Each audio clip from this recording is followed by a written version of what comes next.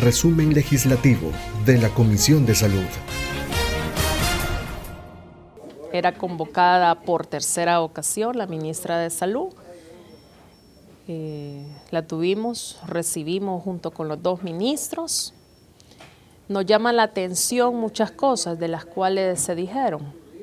Una es sobre todo en el Centro Nacional de Oftalmología de San Vicente, donde eh, manifiestan que no se les entregó debidamente el equipo, que está en mal estado el equipo, y que también manifiestan de que se va a trasladar al hospital de Sacamil, a ciertas áreas del hospital, bajo el concepto de jornadas oftalmológicas.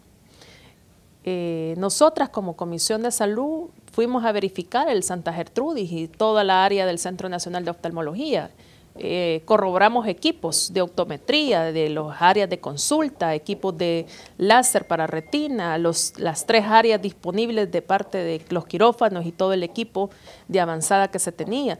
También nos manifestaron que había sido evaluado recientemente el equipo por una empresa privada que se dedica al mantenimiento de equipos médicos y que había salido bien el equipo, que solo a excepción de un OPS, pero de ahí que el resto de todos los equipos que se tenían ahí en el Centro Nacional estaban en óptimas condiciones para atender al público. Recordar que el Centro Nacional de Oftalmología operaba de lunes a sábado, de 7.30 hasta las 5 de la tarde. Por eso la llamada de atención es jornadas oftalmológicas y que solo se tenga planificado, ¿verdad?, eh, el hecho de, qué horarios, no nos supieron decir en, qué horario se va a operar estas jornadas oftalmológicas, si había conocimiento de cuántas cirugías oftalmológicas se están proyectando. Tampoco se dijo, ¿verdad?, de que eh, si se va a contratar mayores, eh, mayor cantidad de oftalmólogos. Mm, solo nos informan de que se va a hacer a través de contratos de servicio profesional.